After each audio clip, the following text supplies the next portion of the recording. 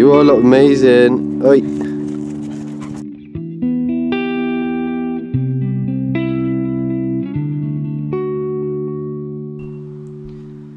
This Boxing Day will be one of the worst days that I will have to remember for a very long time. Because it's the day that my pup sadly died when she was hit by a car.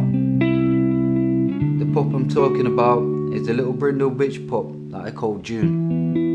I named the June after the month that Fly conceived with her and the rest of her litter. But I was close to calling her Minion or Minnie for short because she certainly was a double of Fly. And this was one of the reasons why I liked June so much. Because when Fly had finally passed on in years to come, I thought I'd have a pup here that I could look at and she would remind me of the good times with Fly.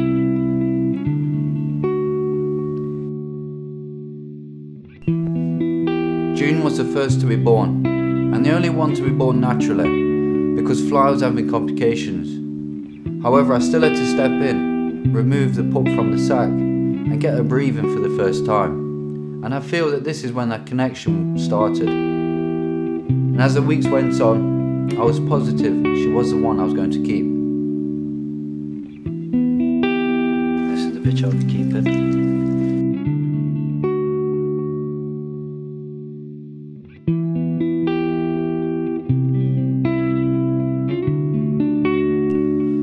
Unfortunately, June never made it to 18 weeks old. But I know in her short life, I made sure it was full of enjoyment and happiness. And even moments before she was hit by that car, her tail was still wagging.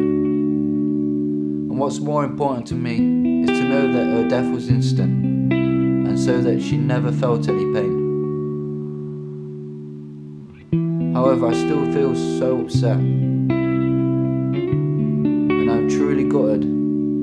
never had the opportunity to watch her work, to bring her on with the ferrets and take her out lamping for the first time, or to watch her catch her first hare.